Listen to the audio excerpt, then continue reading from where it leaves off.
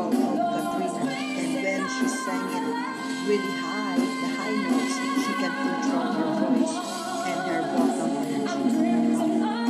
I am so proud of her. Talagang super, super galing mo, anak. Galing-galing talaga ni Katrina Binardi. Parang international. Yan ang tunay na Pinoy.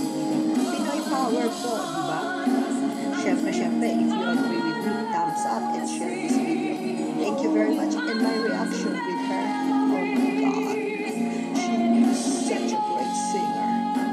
Talagang na-proud, na proud, na proud tayo mga Pilan dito sa Amerika, di ba?